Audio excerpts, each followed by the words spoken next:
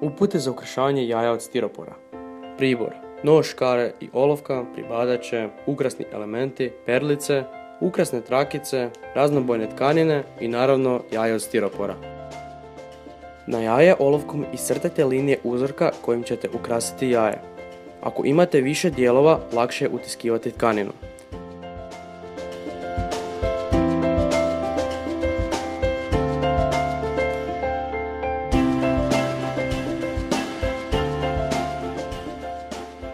Skalpelom ili oštrim nožem zarežite stiropor po iscrtanim linijama na dubinu otprilike 5 mm. Zatim iskrojite tkaninu na onoliko dijelova koliko ih imate na jajetu. Mjeru za tkaninu ćete odrediti prema nacrtanom uzorku, s time da povećate za dio koji se ugurava u stiropor.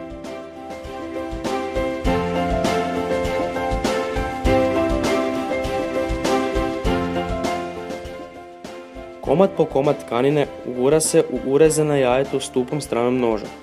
Najprije utisnite jednu bočnu stranu, a onda zategnite ostatak tkanine i utisnite drugu bočnu stranu.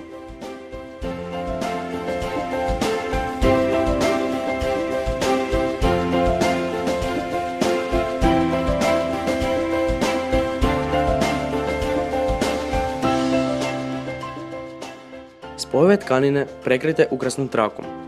Početak trakice postavite na vrh i zabojite ga pribadačom. Nategnite traku po urezanom dijelu do dna jajeta i tu je opet pričvrstite pribadačom.